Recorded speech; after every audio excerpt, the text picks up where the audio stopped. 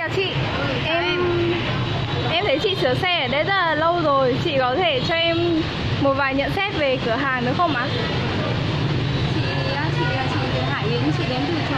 nhà chị ở dưới ờ, Minh Khai này và nhà ngoại chị cũng ở Lò Đúc thôi. Nhưng mà chị thấy nghe tiếng xe đạp điện của Lan Anh rất là nhiều từ trước đến nay rồi, cho nên bảo kiểu gì cũng đến đây mua và chị đã mua xe của em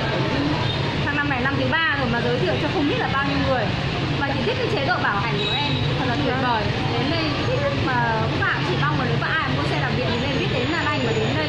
Tức là bảo hành đến cũng thấy vui vẻ và kể cả mua xe chị cũng thấy giá cả nó rất là hợp lý. Nên là chị thích thì chị mua cái xe này của chị rồi xong bắt đầu lại mua xe thằng con chị, xong bắt đầu lại mua lại em chị cũng lại đến đây mua. Nói chung là cứ hỏi mọi người hay ở xe đạp điện mua ở đâu chị cũng bảo là chị mua ở đây, xong bắt đầu vào cái cửa hàng nha một cửa hàng Lan Anh ở đó lúc ấy chị thấy cũng nhiều người biết đến bên em và xong rồi cũng ra đây mua nhiều từ khách của chị giới thiệu ấy tại vì chị thấy là cửa hàng của em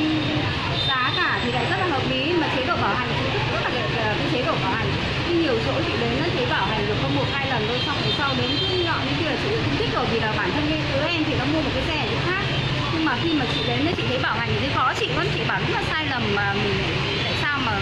không ờ, đến ờ, chỗ xe đạp điện Lan Anh mà lấy như chị đây này chị cảm thấy rất là thích ừ. em cảm ơn về những lời nhận xét của chị bên em sẽ rút kinh nghiệm ờ, thật là nhiều Ừ. và cũng sẽ phát huy những cái mà chị đã khen Ừ. để bên em